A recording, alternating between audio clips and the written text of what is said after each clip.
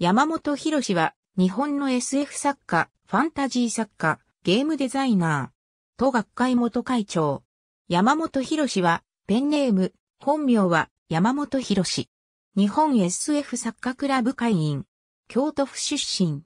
最終学歴は京都市立落葉工業高等学校電子科卒業。アマチュア時代に筒井康隆主催の SF ファングループ、ネオヌルに参加。1976年から SF 導入し、ヌルにて短編小説を発表する。また、やはり SF 導入し、西軍にも参加。後に開講され商業誌に発表されたシュレディンガーのチョコパフェは最初、西軍のオリジナルアンソロジーに発表されたものである。同作により、1986年に SF ファン人大賞創作部門を受賞。1978年、第1回奇想天外 SF 新人賞佳作を受賞したスタンピードでデビュー。この時同時に佳作を受賞した作家に荒井元子がいる。処女長編は1988年出版のラプラスの間。安田仁志をブレイン役として水野良らと SF ゲームサークルシンタックスエラーを結成。後にゲームデザイナー集団グループスンに発展する。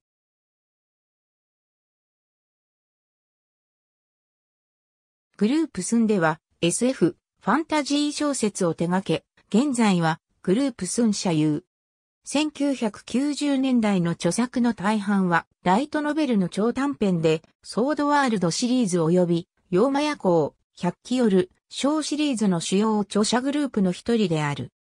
ソードワールドにおいては、西部諸国、妖魔夜行シリーズでは、世界観の基本設定を担当し、森崎麻也、小月、優を主人公としたシリーズを執筆している。また浜本博士として自作にちょい役で出演している。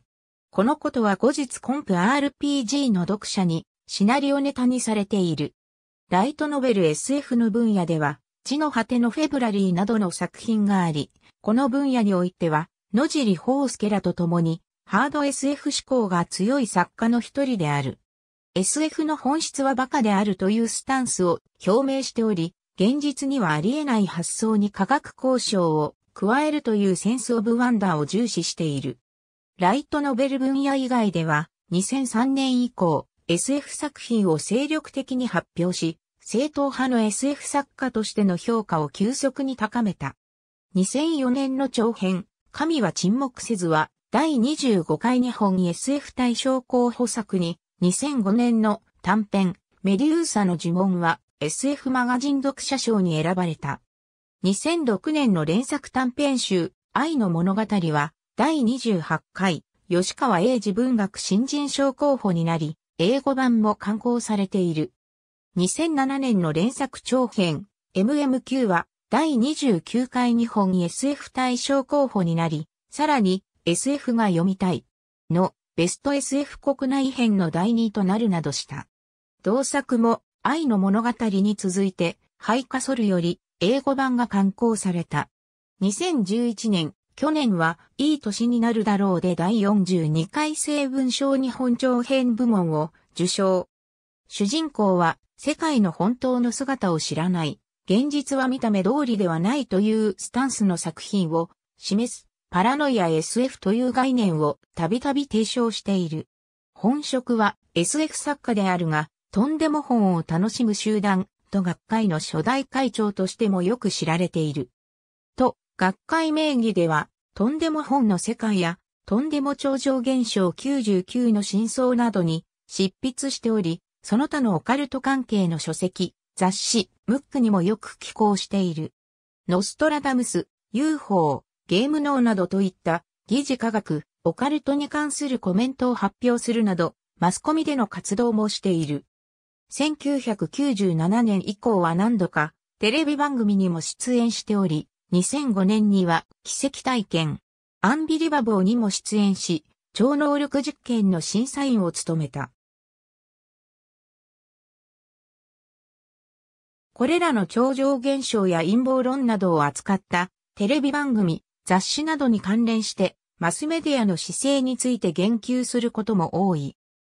マスメディアは人の手によるものであるため、時には誤った内容を伝えたり、編集や構成によって取材内容の改ざんを行うことが可能であり、場合によっては演出や脚本におけるやらせや捏造もあり得るとして実際に活字や映像として出される情報が全てではないこと、また必ずしも事実とは限らないことをたびたび指摘し、メディアリテラシーの必要性を唱えている。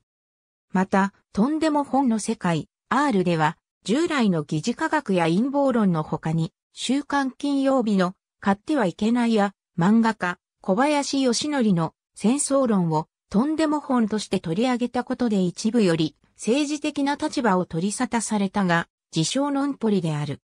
この件について、山本は、左派的色彩の強い、週刊金曜日と、右派的色彩の強い、ゴーマニズム宣言を並べることで、右翼だとか、左翼だとかいう誤解を避ける意図があったとしている。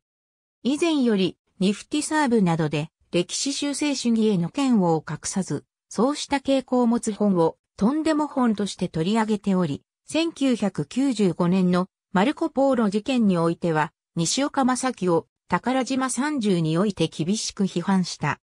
また2003年に出版した SF 小説、神は沈黙せずにおいて、南京大虐殺や南京大虐殺論争を取り上げ、作中人物が南京大虐殺否定論を批判する描写があった。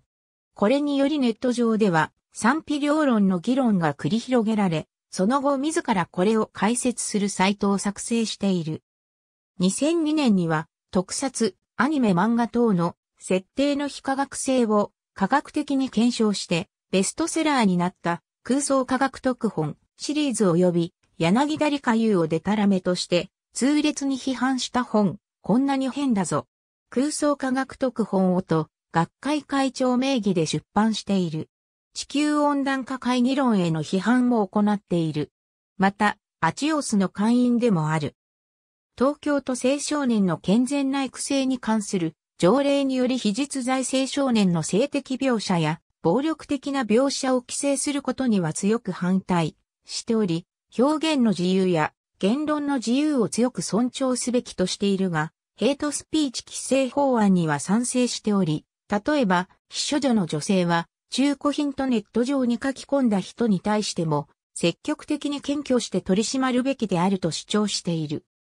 在日特権を許さない市民の買い並びに、ネット右翼の主張も、デマや捏造が多く含まれている上に、表現の自由の範疇に含まれない悪質な差別行為をしているとして問題視している。2013年頃からは、安田光一と共に批判することが多い。また、日本では在日韓国、朝鮮人が犯罪を行った際に、通名報道されることが少なくないが、山本は通名報道を批判する人間は、差別主義者であるとの発言もしている。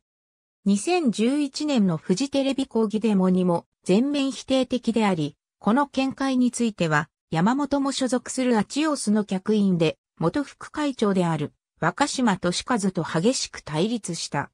なお、唐沢俊一の盗作問題に関して、唐沢を擁護する発言を行ったとして、藤岡誠から厳しい批判を受けている。2014年4月11日にと学会の活動から引退した。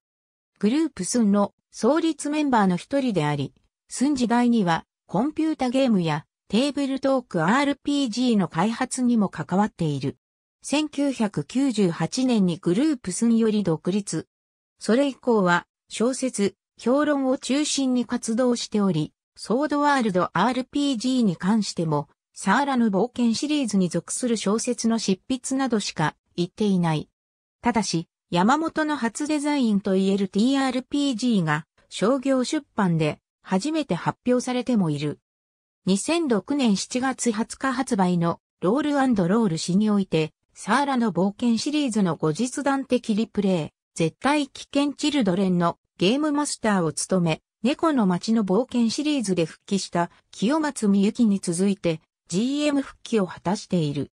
テーブルトーク RPG、ソードワールド RPG 関連での業績も多く、1980年代末から1990年代前半にかけて月刊ドラゴンマガジン誌において、リプレイ第1部、リプレイ第2部を連載。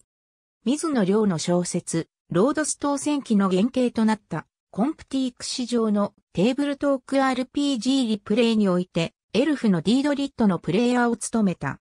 その後、ソードワールド RPG リプレイ第1部、ソードワールド RPG リプレイ第2部、ホーセリアガ Z、ソードワールド RPG、アドベンチャー、ソードワールド RPG シアター西部諸国、ワールドガイドといった企画記事を連載した。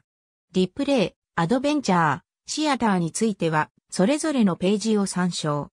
フォーセリアガ Z は、西部諸国で発生した事件を読者が新聞記事の形式で投稿するという企画であり、ここで登場した最強魔獣事件は、ソードワールド RPG アドベンチャーに組み込まれている。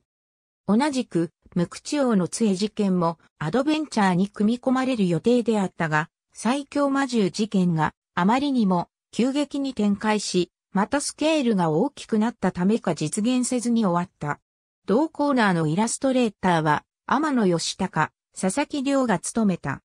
SF 的な設定、山本の担当したソードワールド作品においては、他の作者の作品に比して、独自のモンスターなど、SF 的な設定が登場する率が高く、ありきたりの西洋風ファンタジーとはどこか異なる世界観を醸し出している。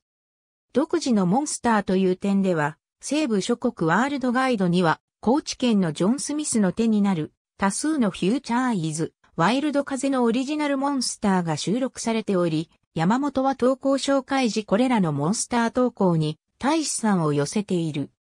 また採用には至らなかったものの、ゴーレム金庫、アイボールなど SF 的な印象を持つモンスター投稿は高評価を獲得している。ソードワールド RPG シアターにおいても、野獣、故郷に帰るの主人公、ジャミル・アディを筆頭に実に全10作のうち約1、3になる3作にオリジナルモンスターが登場。純採用作である5分間シアターにも、新種のグレーターデーモンが悪役として登場する話、機械化人の恐るべき運命を描いた作品など、ファンタジー離れした作品がある。没作品にも魔法技術によって改造された強化人間を扱った作品が多数紹介されている。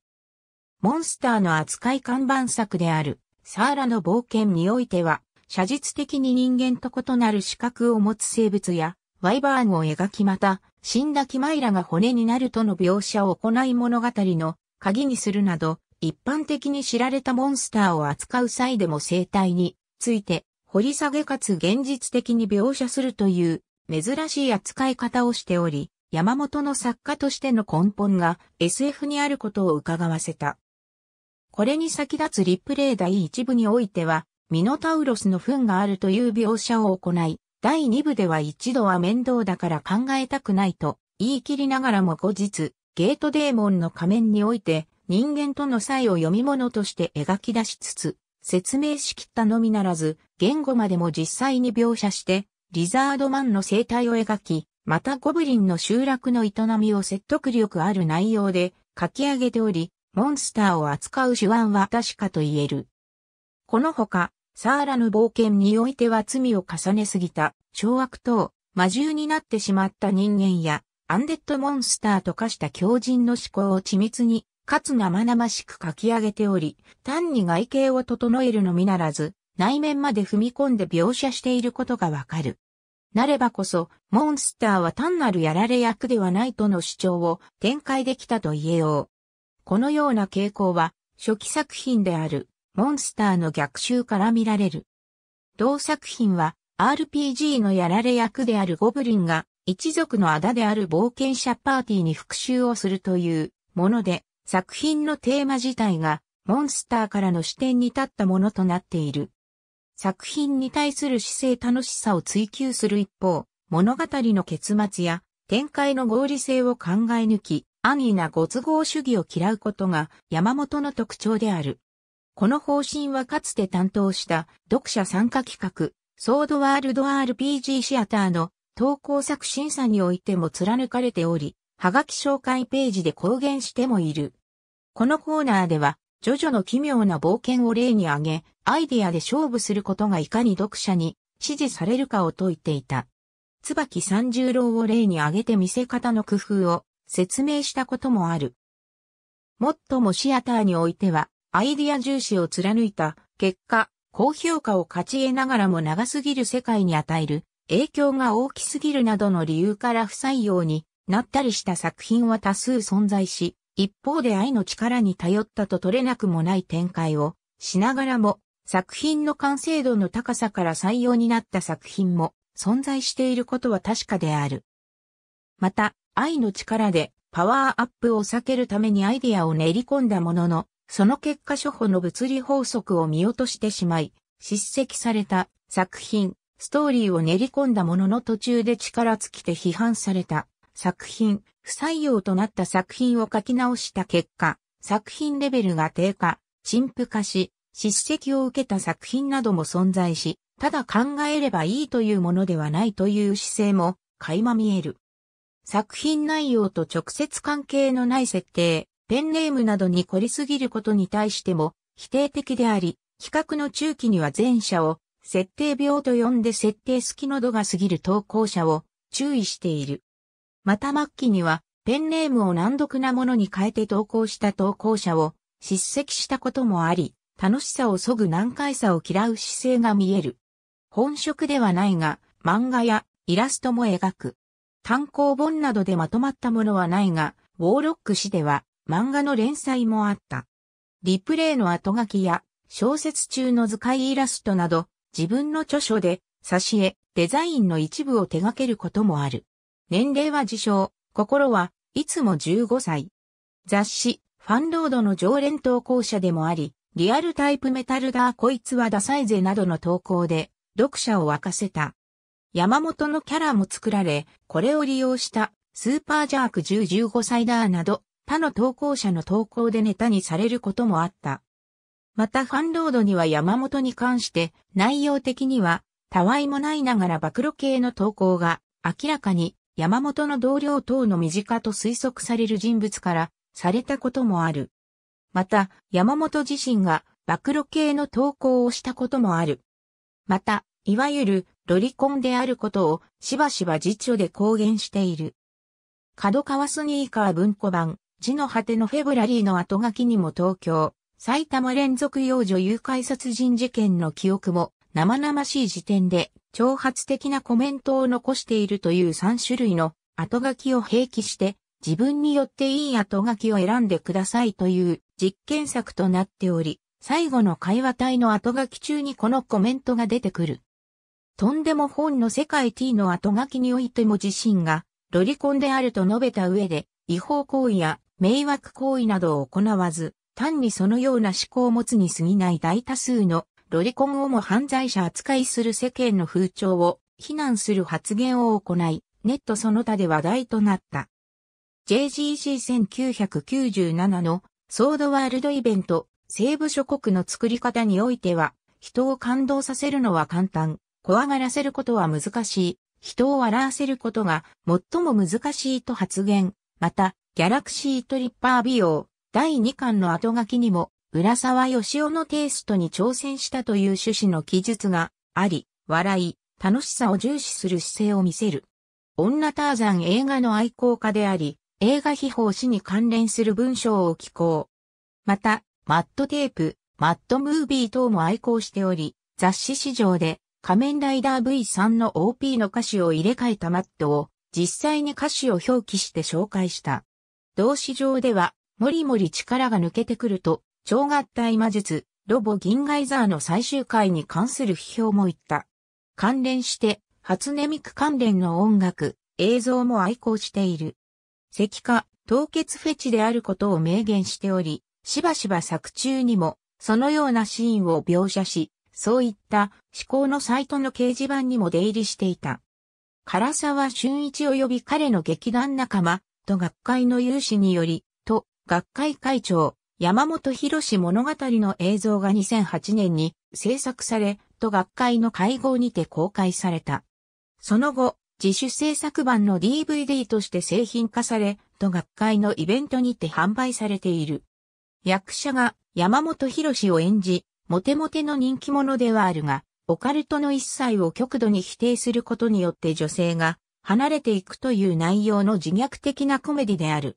2018年5月10日から9月4日まで脳梗塞で入院していたことを明らかにし、核読みでリハビリを兼ねた闘病日記を執筆中である。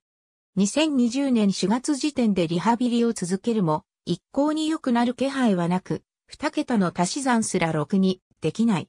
プロジェクトピアノのような高度な数学を駆使する作品は二度と書けないのです。と綴っており、ハード SF に関しては、実質的に断筆を宣言している。山本博士名義のもの。他に、著者と学会名義の本にも執筆多数。ありがとうございます。